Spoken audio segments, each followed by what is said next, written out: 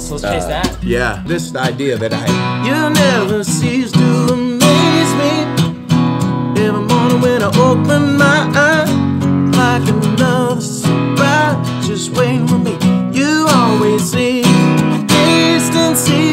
Once we like got in here and just started like vibing, it just it everything like just flowed really nicely. He came with a lot of great advice and wisdom. Yes. And then he also came with um, a start to a song that was mega helpful. It's a little No, I mean, I love SEC it. thing that, you know, but if it feels cool. amaze me. That is. It's, uh, dare I say, a banger. Oh wow, It's really good. And it was just really cool how he tied it into like the day, and I think that'll always kind of mean something special to me and, and you, obviously. We could we could tweak it a little bit. Yeah, maybe- Every morning when I open well, we can't tweak Steven Curtis Chapman. He needs to tweak himself. What if we just like did it and he'll like see?